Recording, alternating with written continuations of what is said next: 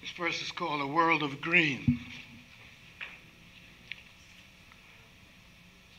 A world of green has not been seen, but it needn't be an irrational dream. Men are so tied to doing same things, of thinking only what negative brings. To look beyond needs a new sight, to view a world devoted to right. But soon, frightened man will demand a world clean and seek to bring about a wonderful world of green.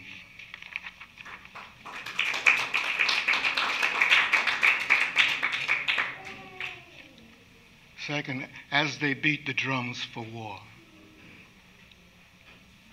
As they beat the drums for war, no opposing voices are heard.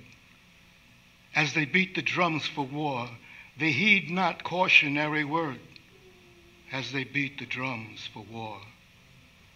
Get in step or you're a fink. You're no patriot, you're a wimp. Or you're blind, a stupid simp. Join the band, although you limp. Don't let them beat the drums for war. Resist the propaganda word. Don't let them beat the drums for war. Push peace and justice. War's absurd. Don't let them beat the drums for war. Let peace prevail throughout the world. Let the banners of peace unfurl. Stop the hawk's quest for oil. Let the dove inherit the world.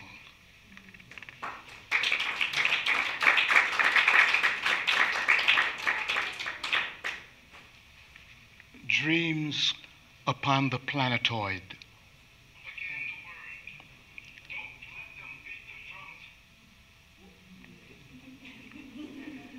dreams upon the planetoid, and men devoid of that with which to end the void, although they pierce it with their Apollos. But no more a god of light, oppressive plight, no son of Plato to end this night, but we do fear it, their nuclear fission.